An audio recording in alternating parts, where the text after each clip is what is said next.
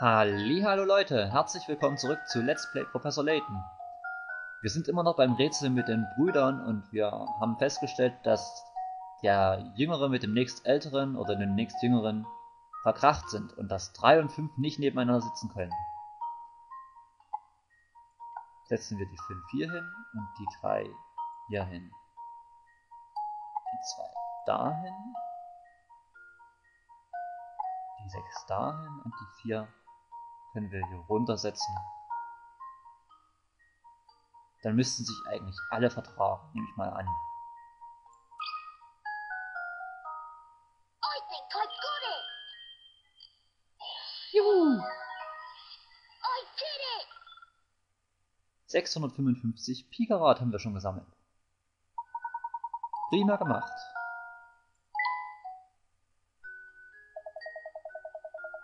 Das ist also die Lösung. Ich bin froh, dass Sie das Rätsel so mühelos knacken konnten.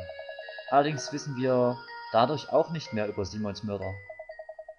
Ich versichere Ihnen, ich hatte nichts damit zu tun. Bitte suchen Sie den, bitte suchen und stellen Sie den wahren Täter. Natürlich, ich verstehe Sie gut. Immerhin stehe ich ebenso unter Verdacht. Immerhin stehe ich ebenso unter Verdacht. Wir ermitteln weiter. Du hast ein seltsames Bauteil erhalten. Bissige Brüder steht nun im Rätselindex. Vielleicht kann uns der Butler noch was sagen? Matthew, sind Ihnen zur Tatzeit irgendwelche suspekten Gestalten in der Nähe der Villa aufgefallen? Ich bin untröstlich, leider habe ich niemanden gesehen. Ich wusste nicht einmal, was Herr Simon widerfahren war, bis der Herr Inspektor bei uns eintraf. Und wo ist Simons Leichnam jetzt? Ich habe es nicht gesehen, aber man sagte, der Inspektor hätte Herrn Simon nach draußen getragen. Ich verstehe. Nun, es sieht aus, als hätten wir momentan keine heiße Spur, was den Fall angeht. Einen Moment bitte. Sehen Sie, dies habe ich im Zimmer gefunden, in dem Herr Simon entdeckt wurde. Ein Zahnrad. Was ist das? Das weiß ich unglücklicherweise nicht. Ich hoffe, es könnte ein Hinweis, dar äh, Hinweis sein, darum hob ich es auf. Faszinierend. Dieses Zahnrädchen ist so klein, dass es selbst einer akribischen Suche entgehen würde. Und was ist das? Hier ist eine Gravur. Zahnrädchen.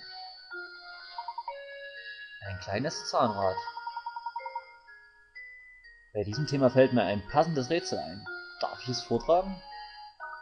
Was? Machen Sie Witze? Ausgerechnet, jetzt wollen Sie, dass wir ein Rätsel für Sie lösen?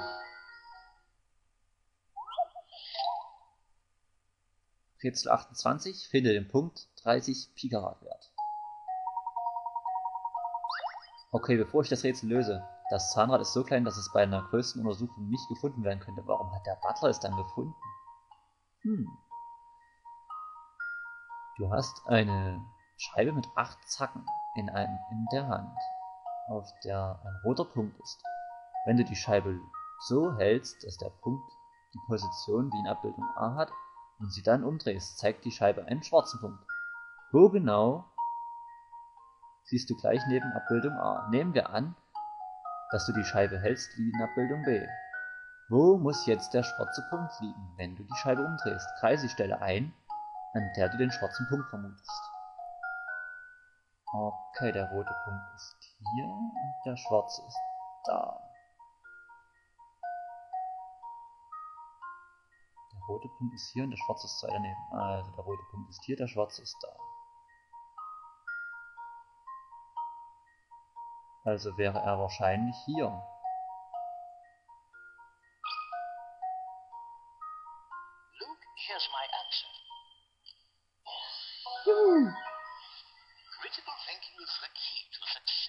Ich mag solche Rätsel, wo man in drei Dimensionen denken muss. Das ist richtig gut.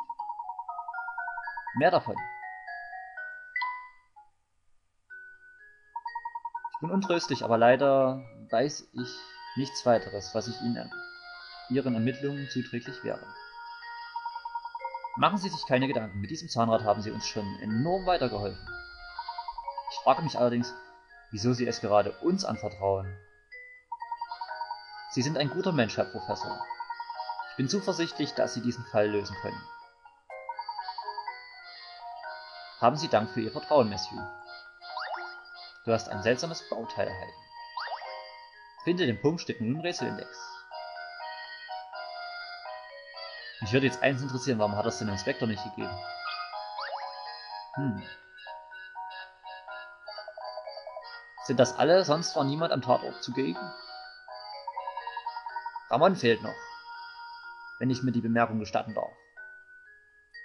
Ramon? Wo steckt er? Und was in aller Welt treibt er nur wieder?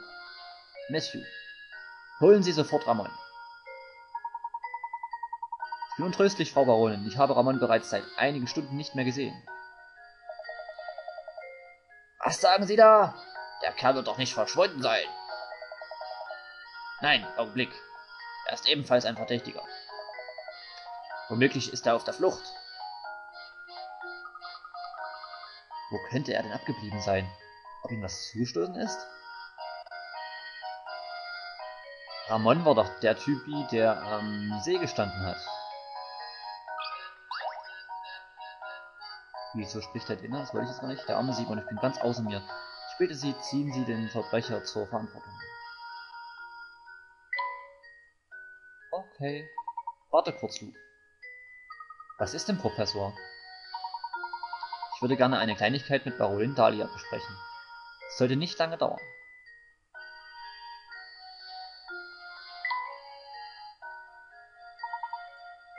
Ja, aber die ist doch gar nicht hier im Zimmer. Okay, dann sprechen wir den Butler an. Hey, wo ist denn Baronin Dahlia hin? Wenn ich mich nicht täusche, ruht sich Frau Baronin gegenwärtig in ihrem Nebenzimmer aus. Also im Nebenzimmer aus. Sie ist eine starke Person, aber nach solch schrecklichen, nach einem solch schrecklichen Vorfall benötigt sie etwas Ruhe. Nun gut, würden Sie ihr bitte mitteilen, dass ich gerne etwas mit ihr besprechen würde? Selbstverständlich. Wenn Sie sich bitte einen Moment gedulden möchten, Herr Professor? Baronin Dahlia mag kühl sein, wie ein Eiszapfen, aber die Vorfälle von heute lassen sogar sie nicht kalt. Luke, wenn du ein wahrer Gentleman werden willst, musst du anfangen, etwas mehr Mitgefühl zu zeigen.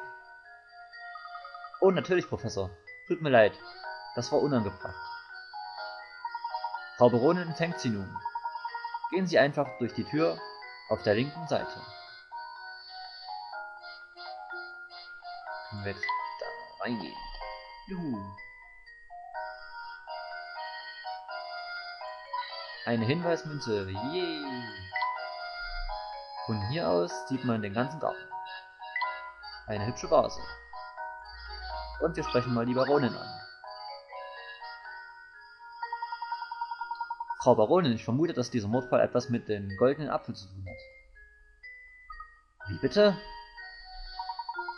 Noch bin ich nicht absolut sicher, aber es scheint mir sehr glaubhaft, dass beides zusammenhängt.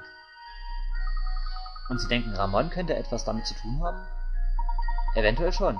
Noch fehlen uns jedoch die nötigen Informationen, um eindeutige Schlüsse zu ziehen. Ich verstehe.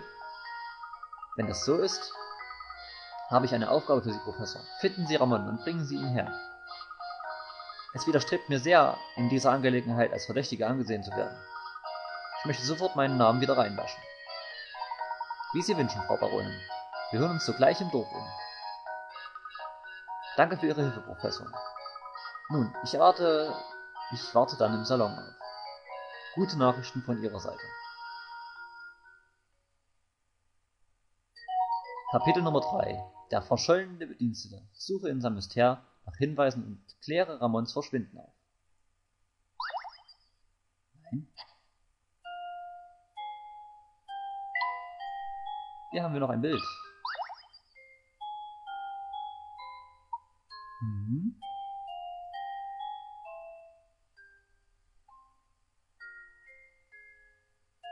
Und mit Seht ihr einmal dieses Bild an. Und mit diesen Eindrücken lasse ich euch erstmal kurz warten bis zur nächsten Folge. See you later, Leute.